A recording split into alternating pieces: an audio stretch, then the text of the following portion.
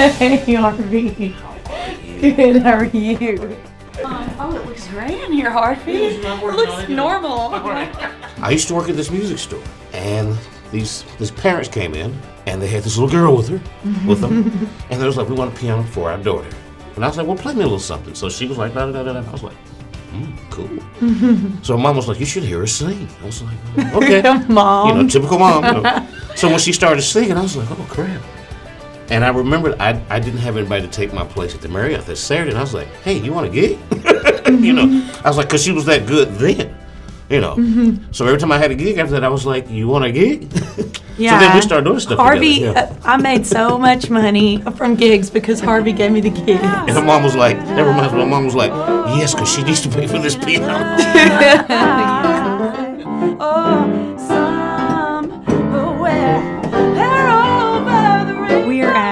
at Swampers Restaurant at the Shoals Marriott Hotel in Florence, Alabama. And Dana was uh, the bartender all five years that I was performing.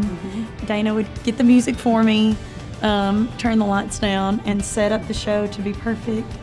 The coolest thing about this place is all the um, pictures on the wall um, are all of Muscle Shoals recording artists.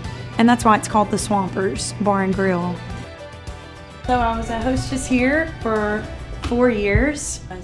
Welcome to the 360 Grill. How may I serve you?